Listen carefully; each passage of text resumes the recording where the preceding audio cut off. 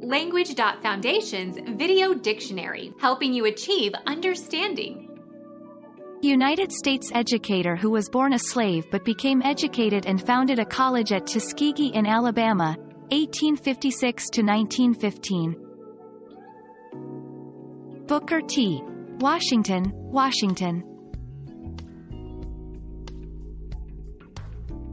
Become our student and get access to effective and free educational materials. Subscribe to our channel to become a part of our growing community and to learn English effectively.